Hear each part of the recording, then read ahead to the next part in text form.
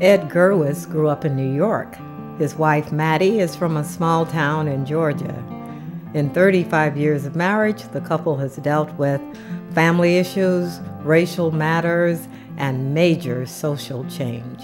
If we went down to Greenwich Village, there was no problem. People kind of look at you, but they didn't bother you, nothing. We went uptown to the east side, to the 80s, which today is probably a very avant-garde and you have a lot of interracial couples. In those days, no, you, you would get looks, you would get stares. Nobody ever said anything that I could recall, but I know certain places that were not happy if we showed up together to go into. Uh, theaters and stuff, they kind of look at you as, you know, what, what are you doing here? Or walk away, you know, people would. And I know my, eventually my parents dropped some of their friends because they would not invite us to their house and they wouldn't invite my parents anymore to their house.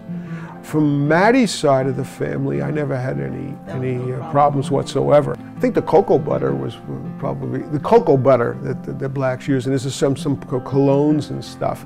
I think it was more for me was dietary. I mean, some of the food. I don't eat pork, and my wife would, and I eat kosher meat only. So my wife would cook, you know, for me the, the kosher stuff, and I got to eventually enjoy collard greens and stuff. I would never have eaten it before. And grits became a, a novelty uh, type of, uh, of food for me. How, how uh, receptive was your son when you first got married? Oh, he didn't want it at all. But then after he went on and he learned to love my husband very much, he called him Pop. I, I could still think and feel that, you know, somewhat was, how do you explain this man? And he would explain me as a stepfather was the easiest. My grandchildren, as far as I know, don't use that uh, term. And my great grandkids, well, the oldest one is, as I say, is Randy, six. I don't think he understands it. A family is someone that is close, that have love for one another, and will stand for you no matter what happened. My family is fairly small. I have one brother who lives in California. Um, I have some cousins who I have not kept up with. For me, family is more on my wife's side of, of quote of the uh, family, and I think historically the, the, the black community has always had an extended concept of family. So, and I kind of fit into that very nicely with my maybe my personality or just what I I like in things. But there's certain cultural differences I think that are out there. But I think once you're submerged in, in another person's culture, they don't become prevalent or they don't mean anything uh, eventually. Yeah. The only thing I can give advice to uh, the uh, other other couples is don't let exterior pressures interfere with what you're doing. I mean, who you snore next to is your business. Not mommies, not papas, not the three neighbors that don't want to talk to you anymore. That's none of their business. It's, it's your decision. It's your it's your thing. You know. Because you love one another. That's the yeah, main thing. Is so. the love, and to be together with one another. Yeah. Greg Hart and Cliff August have a non traditional relationship which crosses racial and generational lines.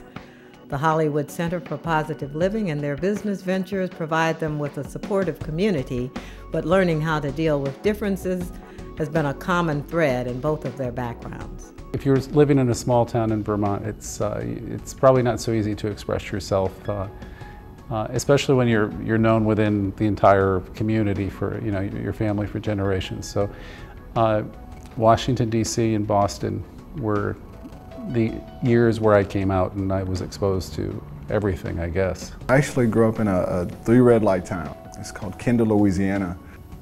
There I experienced uh, uh interracial uh, dating, and I didn't I didn't see it I didn't see it as an issue until I noticed um, what I deemed as my friends uh, basically making their points known. I can't say that in meeting Cliff uh, that that difference has been significant. Um, maybe because when I met him, it, I, it, was a certain point in my life where uh, I'm a very strong person and I don't have a lot of people in my world that are going to uh, uh, at this point in my life, approve or disapprove of what I do and what I choose. My uh, sexual orientation and uh, all of that doesn't really have any bearing on my work. Uh, the social circles I travel in are people who are pretty um, evolved in terms of their understanding. Between Greg and myself, uh, I haven't noticed um, a. I haven't noticed a, a, breakdown in communication just due to our skin color. I would think where where, where it may come up, um, and we definitely don't hear about it, uh, would would probably be along the lines of, of, of parenting, you know, or the parents.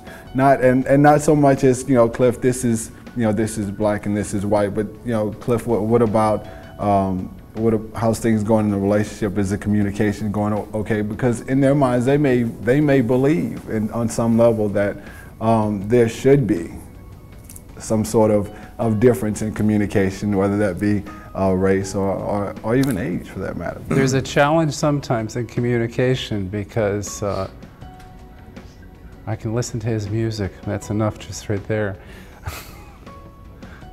I'll get into the car and I'll, oh my God. if anything, that's been our challenge is to uh, find common ground to talk about and resolve. And we've been pretty successful that way.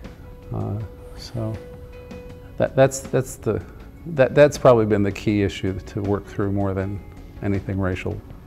Social activism in college brought Isaac and Rama Carter together However, negotiating the more subtle aspects of their African American and East Indian cultures in their daily lives has proven to be a lot more challenging than they expected. I have to admit that nothing's been told to me directly. It's been in more indirect, subtle ways. Um, more like, wow, you know, you really ventured back to Africa, you know, things like that. Um, wow, you really took a risk not much about, you know, Isaac or just, you know, insinuating that you really either crossed the line or um, are willing to deal with something that can be very difficult in a cultural context. Um, going to weddings, very, very difficult for us. When he's in um, my cultural context, he's he's he's welcomed you know first and foremost they'll say you know hello you know i am so and so good to meet you isaac. And then that's about it. They don't they don't welcome him any more than that. Um, he he often tells me that he feels invisible.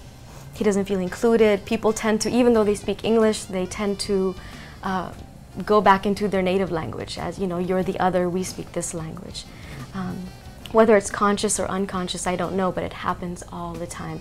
Whether it's in the family context or in the wedding, in the extended family, or even amongst friends.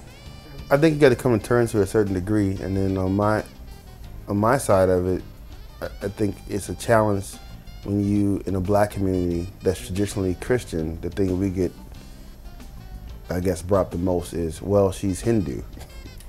so what does that mean? and what is what is Kush gonna be? You know, and that's our son. So it it's and it's and it's done, you know, in a way that makes you really wonder: Is it really a big issue for your relationship, or is it really their issue? I think the more we talk about and experience it, it's more other people's issue.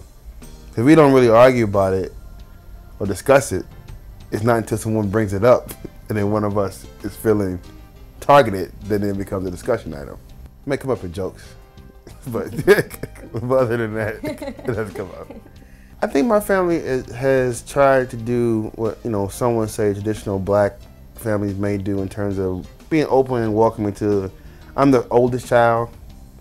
I'm the first firstborn, and and they were all excited about me getting married, so they're very accepting. But then there's limits to the, the uh, to the exception in terms of sometimes I feel they want her to conform to our cultural norms, and it's a constant negotiation of give and take. A try to say what norms you want to conform with and what norms you don't want to.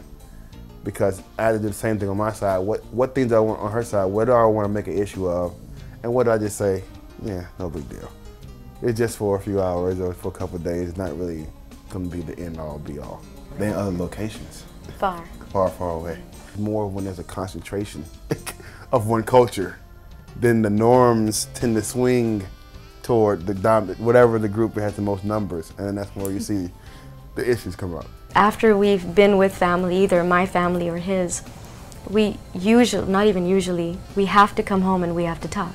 There's always an issue that comes out from there, whether it be diet, to religion, to cultural beliefs and values, we always have to come home and, and parenting. Parenting is a huge one. I don't know why I didn't think about that. Um, and we always have to come home and renegotiate because we've either felt targeted and, and, and you know want to make it um, something that's more defined because maybe we didn't think about it. Um, or we want to have a conversation so that the next time we go out there we're more of a united front than you know feeling divided. You have to map out a strategy for how to deal with your family. So when they say this, you got to say this. You got to do like preemptive, the phone call. So when we come home, we don't want to talk about these things anymore. That's a non-discussion item. I've had to call home and say, that's not a discussion item anymore. Like religion. It, whereas my family grew up, grew up Christian, Rama becoming Christian or questioning Hindu is a non-discussion item. But I had to call to say that because I thought it would naturally occur, but it didn't actually occur. so you have to make a strategy, make a point of bringing up something that never really occurs to us because it's not it's funny. I wasn't when you raise Christian, you think about you know God, some simple kind of commandments: love everybody, treat everybody like you want to be treated. I don't know what the complication is. For Isaac, it's mostly diet. You know, he he comes from a family that you know has their their cultural food, and and we are you know have been vegetarian for generations, and we don't understand eating meat at least my, my parents don't, and it's always an issue. Isaac, you should eat more vegetables each time. Isaac, you should eat more vegetables. Are you eating more vegetables? Rama, is he? Is he? And it's sort of this, you know, you think it, it, it's such a, you know, small thing, but it, it becomes bigger and bigger, and it becomes annoying. I would say that, that it was more Isaac's values and beliefs and, and politics that, that attracted me as opposed to his, his, um, his race